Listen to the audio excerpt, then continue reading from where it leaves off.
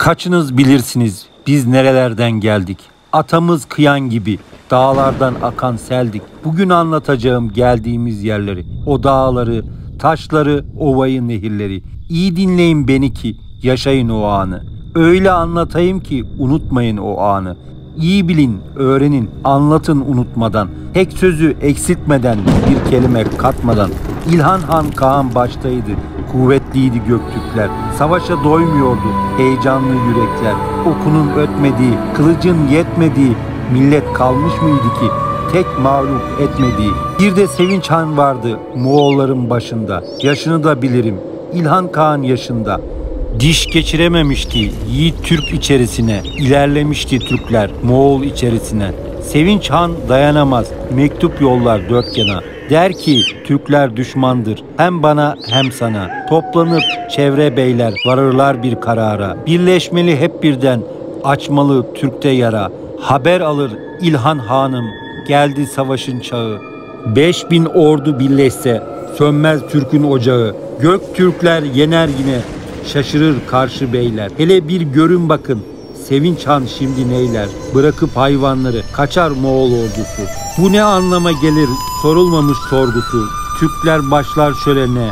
Hem yiyip hem içmeye. Ama Moğol uymaz. Gelir kanım içmeye. Ani bir baskın olur. Bir bir düşer Türk eri. Her yan cesetle dolar. Ayrık gövdeyle seri. İki alp er çarpışır. Adları kıyan tukuz. Unutma biz bir yandan. Atılan dokuz okuz kıyan Kaan oğluydu dağdan akan sel gibi. Tukuz Kaan yeğeni gökten esen yel gibi. Gözlerinin önünde yok oldu budunları.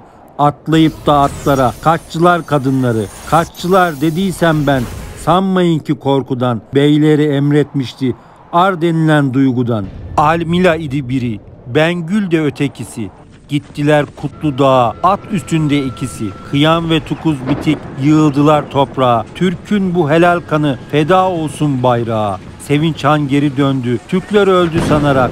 Bir kahkaha patlattı, manzaraya kanarak. Derken bir kıpırdanma, Tukuz kalktı ayağa. Taşıdı kıyağını, kuytuda bir oyuva. Almila ile Bengül döndüler sonraki gün. Ama kaçmalıydılar, öz vatanından sürgün. Yiğitleri yaralı, halleri yok ölmeye. Ne ölmeye hal kaldı, ne de bir tek gülmeye. Kutlu Dağa vardılar, kaldılar birkaç gece. İyileşti yiğitler, gezdiler gündüz gece. Aradılar o kadar, sonunda buldular. Bu korkulu yaşamdan sonunda kurtuldular. Lakin bu yerin yolu geçit vermez pek kolay. O anda olu verdi. Ne muhteşem olay. Bir bozkurt peydah oldu. Düştü dördün önüne, yol gösterdi onlara. Bu cennetin içine, öyle bir yer ki ora, kök tenriden hediye. Kapattılar geçidi, yağı bulmasın diye. Dediler buraya at koyalım. Asena'nın kurtları girdiler güzel yurda. Hepsi duacıydılar o yol gösteren kurda. Kaan soyundan gelen kıyan önderleriydi. O demirden kurt başlı bayrak gönderleriydi. Ergenekon onlara yurt oldu. Tam 400 yıl. Hatırla o günleri. Sarhoşluğundan ayıl. 400 yıl çoğaldılar yaşlıları ölürken. Boy boy oldu tukuzlar, hayat ve türüller. Tukuzlar ve türülken atalarıdır tukuz. Sonra da bu iki kol oldular dokuz oğuz. Hayat soyu, Tiyan'ın Kaanlar hep bu boydan çıkmadılar töreden. Hepsi de aynı soydan. Şölen yaptılar. Her yıl anarak kutlu günü. Unutmadılar bir an. Ne yagıyı ne dünü. 400. şölende Kaan'dı börteçine. Türk'ün öş duyguları bir başka coştu yine. O savaşta olanlar Göktürk'üme ar gelir. Sığmaz oldu tümenler. Ergenekon dar gelir. Ama buradan çıkmanın bir çaresi yok muydu? Demirden dağı gören o tarihte yok muydu? Bütün halk arar oldu kurtuluşun yolunu. Gözler hep tarar oldu hem sağını solunu. Bir çocuk çoban vardı Yiğit Tirek adında. Ne kaval çalardı bu 17 yaşında. Bu Tirek çalmaz sanki kavalıyla inlerdi. Çalmaya başlayınca bütün oba dinlerdi. Kavalıyla dostu. O üflerdi sevdasını. Kattı Ergenekon'dan bir çıkış arzusunu. Gök közlü bir kök börü varıp geldi önüne. Sonra yavaş yürüdü bir çıplak dağ yönüne. Tirek eve dönünce anlattı demirciye. Ey bilge kişi bu kurt gelir De diye demirci hazırlandı.